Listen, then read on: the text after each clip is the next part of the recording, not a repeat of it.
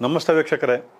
ತಮಗೆಲ್ಲ Karnataka T V ಚಾನಲ್ಗೆ ತಮಗೆಲ್ಲ ಸ್ವಾಗತ, ಸುಸ್ವಾಗತ. ವೀಕ್ಷಕರೇ, ಇವತ್ತಿನ ವಿಚಾರ ವಿಶೇಷವಾಗಿ ಈ ತಿಂಗಳ ಪ್ರಾರಂಭದಲ್ಲಿ ಚುನಾವಣೆ ನಡೀತು, ಚುನಾವಣೆ ಫಲಿತಾಂಶ ಬಂತು. ಫಲಿತಾಂಶದ ನಂತರ ರಾಜ್ಯ ಸರ್ಕಾರ ಇವತ್ತು ಆ್ಯಕ್ಟಿವ್ ಆಗಿದೆ ವೀಕ್ಷಕರೇ. ಈ ವಿಚಾರ ಏನಕ್ಕೆ ಅಂತ ಹೇಳಿದ್ರೆ, ಇದೇ ಕರ್ನಾಟಕ ಟಿ ವಿಯಲ್ಲಿ ಕಳೆದ ಫೆಬ್, ಫೆಬ್ರವರಿಯಂದು ಫೆಬ್ರವರಿ ತಿಂಗಳಲ್ಲಿ ಬಂದು ಇಲ್ಲಿ ಜ್ಯೋತಿಷ್ಯದ ಆಧಾರದ ಮೇಲೆ, ಜ್ಯೋತಿಷ್ಯದ ಒಂದು ಗ್ರಹಗಳ ಲೆಕ್ಕಾಚಾರದ ಆಧಾರದ ಮೇಲೆ ಒಂದು ಕಾರ್ಯಕ್ರಮವನ್ನು ನಾವು ಮಾಡಿದ್ವಿ ಇಲ್ಲಿ. ಅದರಲ್ಲಿ ನಿಮಗೆ ನೋಡಿ ಹಂಡ್ರೆಡ್ ಪರ್ಸೆಂಟು ಕರ್ನಾಟಕದಲ್ಲಿ ಸಿದ್ದರಾಮಯ್ಯನವರು ಮುಖ್ಯಮಂತ್ರಿ ಆಗ್ತಾರೆ. ಕೋಲಾರ ಅವರಿಗೆ ಸೇಫ್ಟಿ ಅಲ್ಲ, ವರುಣ ಕ್ಷೇತ್ರ ಸೇಫ್ಟಿ ಅವ್ರಿಗೆ ಅಂತ ಹೇಳಿದ್ದೆ. ಅದೇ ರೀತಿ ಇವತ್ತು ಯಾರು ಊಹೆಗೆ ನಿಲುಕದ ರೀತಿಯಲ್ಲಿ ಕಾಂಗ್ರೆಸ್ ಸರ್ಕಾರ ಅಧಿಕಾರವನ್ನು ಪಡ್ಕೊಂಡು ಸಿ ಎಂ ರೇಸ್ನಲ್ಲಿ ಅನೇಕ ಗುದ್ದಾಟಗಳು, ಗುದ್ದಾಟಗಳಾಯಿತು. ಸಿ ಎಂ ರೇಸ್ನಲ್ಲಿ ಹಲವಾರು ಜನರು ಪೈಪೋಟಿಗೆ ಇಳಿದ್ರು. ಇದೆಲ್ಲವನ್ನು ನಾವು ನೋಡ್ತಾ ಬಂದಿದ್ದೀವಿ. ಅದೇ ರೀತಿ ಇಲ್ಲಿ ಸಿ ಎಂ ಆಗಿ ಶ್ರೀಮಾನ್ಯ ಶ್ರೀ ಸಿದ್ದರಾಮಯ್ಯನವರು ಎರಡನೇ ಬಾರಿಗೆ ರಾಜ್ಯದ ಮುಖ್ಯಮಂತ್ರಿಗಳಾಗಿದ್ದಾರೆ. ಅವರು ಮುಖ್ಯಮಂತ್ರಿ ಆದಂಥ ಒಂದು ಸಮಯ, ದಿನಾಂಕ, ಅದರ ಪ್ರಕಾರವಾಗಿ ಅವರು ಮುಂದಿನ ಐದು ವರ್ಷಗಳ ಕಾಲ ಮುಖ್ಯಮಂತ್ರಿ ಆಗಿರ್ತಾರಾ ಅನ್ನೋದು ಒಂದು ಕ್ವಶನ್ ಮಾರ್ಕ್ ಎಲ್ರಿಗೂ ಇದೆ. ಈ ಒಂದು ವಿಚಾರವಾಗಿ ನಾನು ನನ್ನ ಒಂದು ಲೆಕ್ಕಾಚಾರ ಬೇರೆ ರೀತಿ ಇರುತ್ತೆ. ಯಾಕಂತ ಹೇಳಿದ್ರೆ ನನ್ನ ಒಂದು ಲೆಕ್ಕಾಚಾರದಲ್ಲಿ ತಾಯಿ ಕಬ್ಬಾಳಮ್ಮನ ಆಶೀರ್ವಾದದೊಂದಿಗೆ ಇವತ್ತು ನಾನು ಜ್ಯೋತಿಷಿಯಾಗಿ ರೂಪುಗೊಂಡು ನಿಮ್ಮ ಮುಂದೆ ನಾನು ಕೂತಿದ್ದೀನಿ ಇವತ್ತು. ಇಲ್ಲಿ ಜ್ಯೋತಿಷ್ಯ ಅಂತ ಹೇಳಿದ್ರೆ ನಾನು ಕಳೆದ ಸಾವಿರದ ಒಂಬೈನೂರ ತೊಂಬತ್ತ ಎಂಟರಿಂದಲೂ ಜ್ಯೋತಿಷ್ಯ ಲೇಖನವನ್ನು ಹಲವಾರು ಪತ್ರಿಕೆಗಳಲ್ಲಿ ಕೊಟ್ಟಿದ್ದೀನಿ, ಹಲವಾರು ನಾನು ಹೇಳಿದ್ದೀನಿ, ಹಲವಾರು ನಾನು ಹೇಳ್ತಾ ಬಂದಿದ್ದೀನಿ. ಅದೇ ರೀತಿ ಸತ್ಯವಾಗ್ತಾನು ಬರ್ತಾ ಇದೆ. ಇದಕ್ಕೆ ಮೊದಲನೇ ಉದಾಹರಣೆ ಅಂತ ಹೇಳಿದ್ರೆ ನಾನು ಪ್ರಪ್ರಥಮವಾಗಿ ನಾನು ಜ್ಯೋತಿಷ್ಯವನ್ನು ಅಭ್ಯಾಸ ಮಾಡಿ ಕಬ್ಬಾಳಮ್ಮನ ತಾಯಿಯ ಆಶೀರ್ವಾದದಿಂದ ನಾನು ಜ್ಯೋತಿಷಿಯಾಗಿ ರೂಪುಗೊಂಡು ನಾನು ಜ್ಯೋತಿಷ್ಯಕ್ಕೆ ಮುಂಚೆ ಇವತ್ತೆಲ್ಲ ಸಾಮಾನ್ಯವಾಗಿ ಏನು ಹುಡುಗರು ಇರ್ತಾರೆ. ಆ ರೀತಿಯಾಗಿ ನಾನು ಬೆಳೀತಾ ಇದ್ದೆ. ನಾನು ಆಟೋಗಳನ್ನ ಇಟ್ಕೊಂಡು, ಗಾರೆ ಕೆಲಸ ಮಾಡಿಕೊಂಡು, ಎಲ್ಲ ರೀತಿಯಾದ ಒಂದು ಅನುಭವದಲ್ಲೂ ಜ್ಯೋತಿಷ್ಯ ಅಂದರೆ ಕಷ್ಟಗಳಲ್ಲಿ ಬೆಳೀತಾ ಇದ್ದೆ. ಮನ, ಮನೆಯವ್ರಿಗೆಲ್ಲ ಚಿಂತೆ ಆಗೋಗಿತ್ತು. ಇವನೇನು ಯಾವ ಕೆಲಸದಲ್ಲೂ ಇವನು ಇಂಪ್ರೂವ್ಮೆಂಟ್ ಆಗ್ತಾಯಿಲ್ಲ ಅನ್ನೋ ರೀತಿಯಲ್ಲಿ. ಒಂದು ದಿನ ತಾಯಿ ಕಬ್ಬಾಳಮ್ಮನ ಆಶೀರ್ವಾದದಿಂದ ನಾನು ಜ್ಯೋತಿಷಿಯಾಗಿ ರೂಪುಗೊಂಡಿದ್ದೆ. ಲೆಕ್ಕ ಒಂದು ಗ್ರಹಗಳ ಲೆಕ್ಕಾಚಾರ ನಮಗೆ ಏನೂ ಗೊತ್ತಿರಲಿಲ್ಲ. ಈ ಪಂಚಾಂಗದ ಒಂದು ಗಾ ಅಂದ ಗಾಳಿಗೆ ಸಹ ನನಗೆ ಗೊತ್ತಿರಲಿಲ್ಲ. ಅಂಥ ಒಂದು ಸಮಯದಲ್ಲಿ ನಾನು ಜ್ಯೋತಿಷಿ ಅಂತ ಗುರುತಿಸ್ಕೊಂಡಿದ್ದೆ. ಆಗ ಎಲ್ಲರೂ ಇವನೇನು, ಇವನು ಈ ಥರ ಹುಡುಗ ಇದ್ದ, ಈಗ ಜ್ಯೋತಿಷಿ ಅಂತ ಹೇಳ್ತಾವ ಅಂತ ಹೇಳಿ ಹಲವಾರು ಜನ ಅಪಹಾಸ್ಯ ಮಾಡಿದಂಥ ಸನ್ನಿವೇಶಗಳು ನನ್ನ ಜೀವನದಲ್ಲಿ ನಾನು ಕಂಡಿದ್ದೀನಿ. ಇಲ್ಲಿ ನಾನು ಪ್ರಮುಖವಾಗಿ ಮೊದಲ ನನ್ನ ಆರ್ಟಿಕಲ್ಲು, ದಿವಂಗತ ವೈಕುಂಠರಾಜ್ ಅವರು ಪತ್ರಕರ್ತರು ಸಾಕಷ್ಟು ಹೆಸರುವಾಸಿಯಾದಂಥ ಪತ್ರಕರ್ತ ಆಗ ಒಂದು ಸಮಯದಲ್ಲಿ ಅಂಥವರ ಒಂದು ಪತ್ರಿಕೆಯಲ್ಲಿ ಪ್ರಪ್ರಥಮವಾದ ಒಂದು ಆರ್ಟಿಕಲ್ನ ನಾನು ತಗೊಂಡು ಕೊಡ್ತೀನಿ. ಇಬ್ಬರು ಸ್ತ್ರೀಯರ, ಸ್ತ್ರೀಯರಿಂದ, ಇಬ್ಬರು ಗಡ್ಡಧಾರಿಗಳಿಂದ ವಾಜಪೇಯಿ ಸರ್ಕಾರ ತುಂಬ ದಿನ ಉಳಿಯೋದಿಲ್ಲ ಅಂಥೇಳಿ ನಾನು ಬರಿತೀನಿ. ಇದನ್ನು ನೀವು ನೋಡ್ತಾ ಇರ್ಬೋದು. ಇದು ಪೇಪರ್ ಕಟ್ಟಿಂಗು ವಾರಪತ್ರಿಕೆ ಅಂದಿನ ಕಾಲದಲ್ಲಿ ಅಂದರೆ ಸಾವಿರದ ಒಂಬೈನೂರ ತೊಂಬತ್ತೆಂಟು ತೊಂಬತ್ತೊಂಬತ್ತರಲ್ಲಿ ಯಾರು ವಾರಪತ್ರಿಕೆಗಳನ್ನ ಓದ್ತಾ ಇರ್ತಾರೆ ಅವ್ರಿಗೆ ಗೊತ್ತಿರುತ್ತೆ. ಈ ಒಂದು ಆರ್ಟಿಕಲ್ನ ನಾನು ತೊಗೊಂಡೋಗ್ಬಿಟ್ಟು ನಾನು ವೈಕುಂಠರಾಜ್ ಅವ್ರ ಮುಂದೆ ಈ ಆರ್ಟಿಕಲ್ನ ನಾನು ಕೊಡ್ತೀನಿ. ವೈಕುಂಠರಾಜ್ ಅವರ ಏಕವಚನದಲ್ಲಿ ಬೈತಾರೆ ನನಗೆ. ಅವ್ರು ಯಾಕಂತ ಹೇಳಿದ್ರೆ ಅವ್ರ ಜ್ಯೋತಿಷ್ಯನ ಅವನು ಅಷ್ಟೊಂದು ನಂಬ್ತಾ ಇರಲಿಲ್ಲ ಆ ಒಂದು ಸಮಯದಲ್ಲಿ. ಅಂಥ ಒಂದು ಸಮಯದಲ್ಲಿ, ಏಯ್, ಹೋಗೋ, ನೀನು ಏನೋ ತಂದಿದ್ಯಾ? ಇದನ್ನು ನಾನು ಹಾಕೋಕ್ಕಾಗಲ್ಲ ಪತ್ರಿಕೆಯಲ್ಲಿ ಅಂತ ಹೇಳ್ತಾರೆ. ಅದು ನನಗೆ ಏನೋ ಒಂದು ಮನಸ್ಸಿನ ಒಂದು ಧೈರ್ಯ ಇತ್ತು. ಅವರ ಪಕ್ಕದಲ್ಲಿ ಒಂದು ಟೇಬಲ್ ಇರುತ್ತೆ. ಆ ಟೇಬಲ್ ಹತ್ರ ನಾನು ಇಟ್ಟು ಬಂದುಬಿಡ್ತೀನಿ. ಆ ಇಟ್ಟು ಬಂದಾಗ ನಾನು ಸಾಮಾನ್ಯವಾಗಿ ಆ ಪತ್ರಿಕೆಗಳನ್ನ, ಯಾವುದೋ ಒಂದು ವಾರ ಪತ್ರಗಳನ್ನ ನೋಡ್ತಾ ಇದ್ದಂಥ ಅಭ್ಯಾಸ ಇತ್ತು. ಅಂಥ ಒಂದು ಸಮಯದಲ್ಲಿ ನಾನು ಮುಂದಿನ ಅವರ ಸಂಚಿಕೆ ಬಂದಾಗ ಸಾವಿರದ ಒಂಬೈನೂರ ತೊಂಬತ್ತೆಂಟು ಪ್ರಥಮ ಪ್ರಪ್ರಥಮ ಆರ್ಟಿಕಲ್ನಂದು ಮೇ ಹದಿನೇಳರ ಒಂದು ವಾರಪತ್ರಿಕೆಯಲ್ಲಿ ನಾನು ಬರಿತೇನೆ. ಆ ಒಂದು ನಾನು ಬ ಕೊಟ್ಟಂಥ ಆರ್ಟಿಕಲ್ನ ವೈಕುಂಠರಾಜ್ ಅವರು ಅವ್ರ ಪತ್ರಿಕೆಯಲ್ಲಿ ಮುದ್ರಣ ಮಾಡ್ತಾರೆ. ನನಗೆ ಎಲ್ಲಿಲ್ಲದ ಸಂತೋಷ ಆಗುತ್ತೆ. ಓ, ನಾನು ಬರೆದಿದ್ದು ಸಹ ಪತ್ರಿಕೆಯಲ್ಲಿ ಬಂದಿದೆಯಲ್ಲ ಅನ್ನೋದು ಒಂದು ಖುಷಿ ಆಗುತ್ತೆ. ಅದೇ ರೀತಿ ವೈಕುಂಠರಾಜ್ ಅವರು ಒಂದು ದಿನ ನನ್ನ ಕರೀತಾರೆ. ಕರೆದ್ಬಿಟ್ಟು ಅವರು ನನ್ನ ರೆಡ್ಡಿ ಅಂತಲೇ ಕರಿತಾ ಇದ್ದಿದ್ದು. ಅವ್ರು ಹೇಳ್ತಾರೆ, ಏ ರೆಡ್ಡಿ, ನೀನು ಬರೆದಿದ್ದಂಥ ಒಂದು ಆರ್ಟಿಕಲನ್ನು ಹಾಕ್ಬಿಟ್ಟಿದ್ದೀನಿ. ಆದರೆ ವಾಜಪೇಯಿ ಅವರಿಗೆ ಆಪ್ತರಾದಂತಹ ಒಬ್ಬರು ಅಮೃತ ಸೇನ್ ಅಂತ ಒಬ್ಬರು ಅಸ್ಟ್ರಾಲಜರ್ಸ್ ಇದ್ದಾರೆ. ಅವ್ರು ಹೇಳಿದ್ದಾರೆ, ಅವರು ಐದು ವರ್ಷಗಳ ಕಾಲ ಪ್ರಧಾನಮಂತ್ರಿಗೆ ಯಾವುದೇ ರೀತಿಯ ತೊಂದರೆ ಇರೋದಿಲ್ಲ ಅನ್ನೋದು ಇದು ವೈಕುಂಠರಾಜ್ ಅವರು ಸಂಪಾದಕರ ಡೈರಿಯಲ್ಲಿ ಅವರು ಬರೆದಿರ್ತಾರೆ. ನಾನು, ಸರ್, ನನ್ನ ಒಂದು ಲೆಕ್ಕಾಚಾರ ಪ್ರಕಾರ ನಾನು ಬರೆದಿದ್ದೀನಿ. ನೋಡೋಣ ಸರ್, ಏನಾಗುತ್ತೆ ಅಂತ ಹೇಳಿ ನಾನು ಬರ್ತೀನಿ.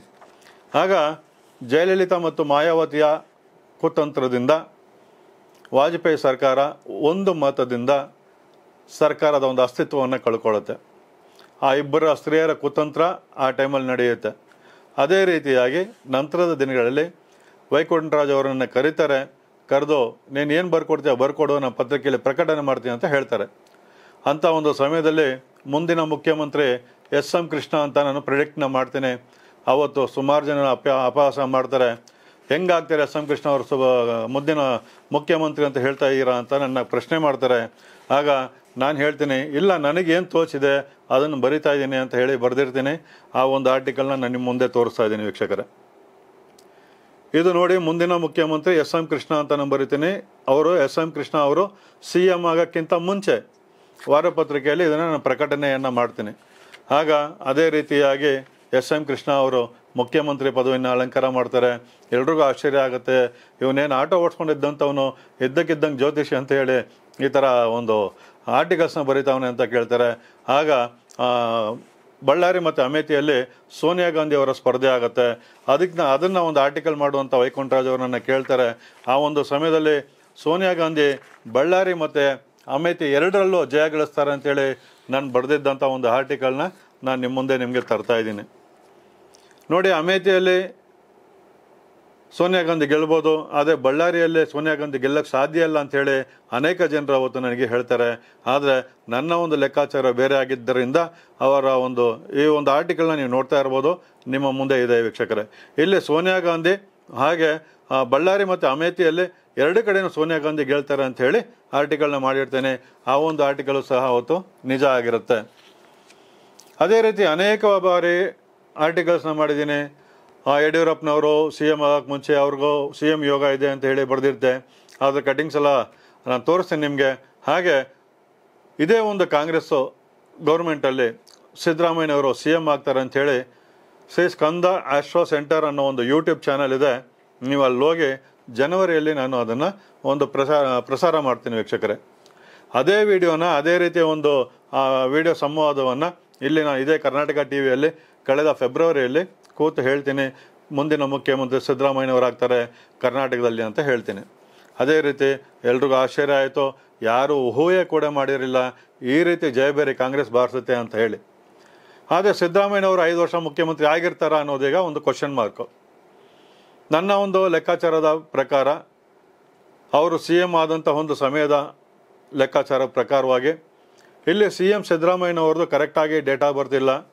ನಾನು ಅವ್ರದ್ದು ಯಾವ ಒಂದು ಆಧಾರದ ಮೇಲೆ ಹೇಳ್ತಾ ಇದ್ದೀನಿ ಅಂತ ಹೇಳಿದ್ರೆ, ಅವರ ಮಗ ದಿವಂಗತರಾದಂತಹ ರಾಕೇಶ್ ಸಿದ್ದರಾಮಯ್ಯನವ್ರದ್ದು, ಹಾಗೆ ಯತೀಂದ್ರರವ್ರದ್ದು, ಹಾಗೆ ಅವರ ಮನೆಯವ್ರದ್ದು ಜಾತಕ ನನ್ನ ಬಳಿ ಇದೆ.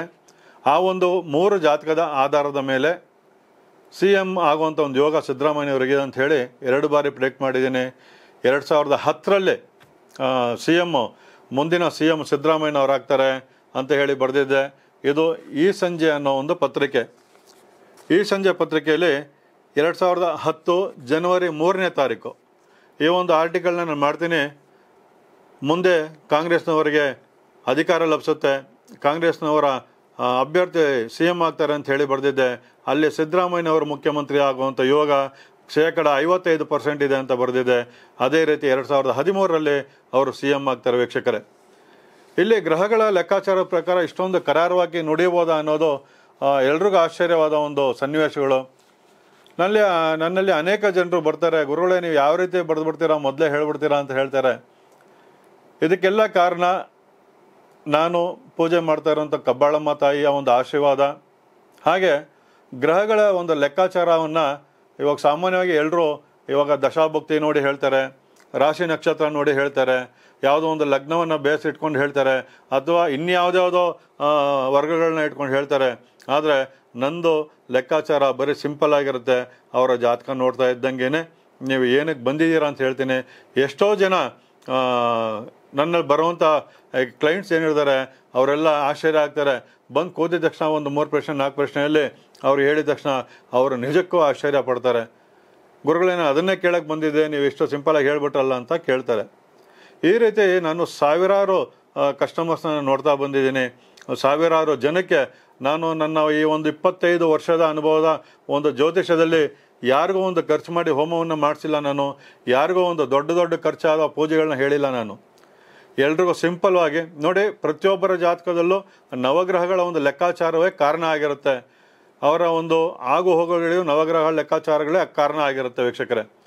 ಆ ಒಂದು ನವಗ್ರಹಗಳ ಲೆಕ್ಕಾಚಾರದ ಆಧಾರದ ಮೇಲೆ ನವಗ್ರಹಗಳಿಗೆ ಸಂಬಂಧಪಟ್ಟಂಥ ಕೆಲವೊಂದು ಸಿಂಪಲ್ ರೆಮಿಡೀಸನ್ನ ನಾವು ಅವ್ರಿಗೆ ಹೇಳ್ತೀನಿ. ಹೊರತು ಯಾರಿಗೇ ಆಗಲಿ ಇದುವರೆಗೂ ಹೊತ್ತಾದ ಒಂದು ಹೋಮ ಮಾಡಿಸಿದ್ದಾಗಲಿ, ನೀವು ಹೋಮ ಮಾಡಿದ್ರೇ ನಿಮಗೆ ಒಳ್ಳೇದಾಗುತ್ತೆ ಅಂತ ಹೇಳಿದರೆ ಹೇಳಿ ಎಷ್ಟೋ ಜನ ಬರ್ತಾರೆ.